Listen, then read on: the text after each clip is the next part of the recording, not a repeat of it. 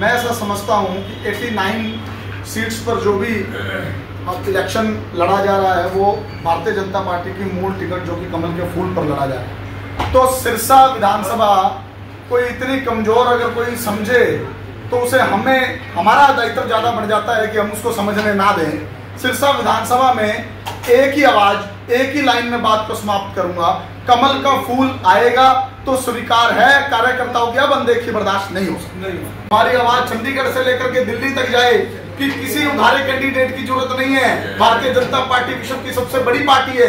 ना pressure politics करती है ना प्रेशर में आती है। कमल का फूल आएगा शत प्रतिशत सरसा विधानसभा से जीतेगा और जाकर के नायब सिंह सैनी जी के नरेंद्र मोदी जी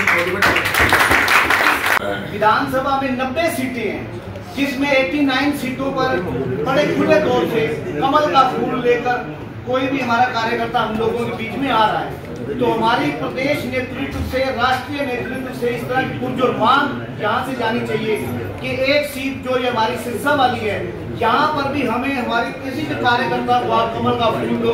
हम कमल के फूल पर चुनाव यहाँ पे लड़ना चाहते हैं, लड़ना पसंद करते हैं। तो ये आवाज़ है। ये सारे शहर के लोगों की आवाज़ है कि बीजेपी आप यहाँ पे अपना कार्यकर्ता कमल के फूल का कोई खड़ा करें और सारे शहर के लोग हम सबके साथ हैं। मेरा तो यही कहना है कि प्रदेश नेतृत्व को हमारी बात पहुंचाओ और यहाँ पे कमल के फूल का ही कोई ना कोई कैंडिडेट होना चाहिए। यहाँ से टिक सुनने मेरा पक्की नहीं अभी तक कि यहाँ से टिकट गोपाल कांडा जी को दी जा रही है।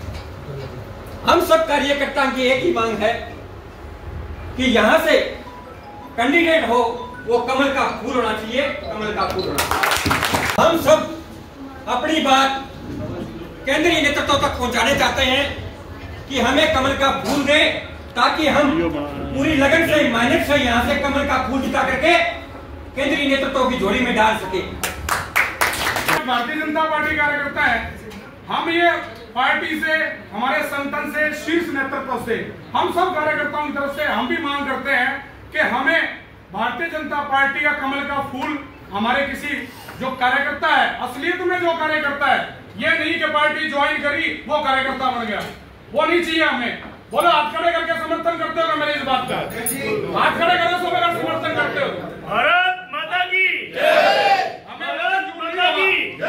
और जिस कार्यकर्ता को कमल का फूल। हमारे पार्टी के कार्यकर्ता को कमल का फूल देके पार्टी भेजेगी। हम तन मन धन से उसका साथ देंगे और सिरसा की पाँचों की पाँचों सीटें जिताकर भेज देंगे। काम भारतीय जनता पार्टी अब जो है, भारतीय जनता पार्टी पूरे विश्व में सबसे बड़ा राजनीतिक संगठन है। और ये हमारी उपलब्धि है। लेकिन उस उपलब्धि को भी पार्टी नेतृत्व बहुत सी सीटों पे नकारात्मक सोच रखते हुए इधर उधर से लेकर के और हमारे ऊपर थोपने का प्रयास करता है। लेकिन उसका इलाज क्या है? उसका इलाज यही है, मेरा मानना तो है अभी संगठन से गद्दारी मेरे खून में तो मेरी भी राय आपको यही है भाई, आप जो है फूल आए तो मन से काम करो। फूल न आए तो अपनी इच्छा से काम करो